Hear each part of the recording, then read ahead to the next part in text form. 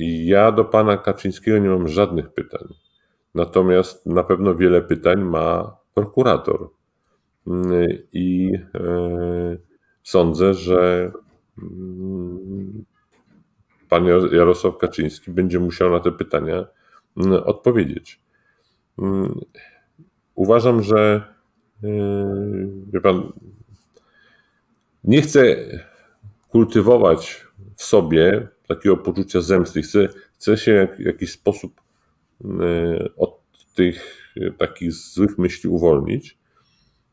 Natomiast to, co my musimy zrobić, czyli rozliczenie, to uważam, najważ, to jest najważniejsze zadanie w tej kadencji i to jest, to jest zadanie na pokolenie.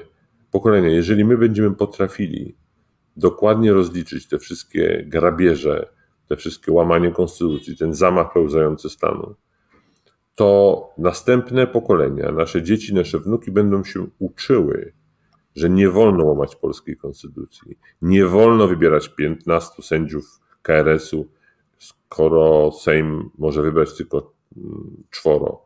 Nie wolno odwoływać sędziów Trybunału Konstytucyjnego prawidłowo powołanych.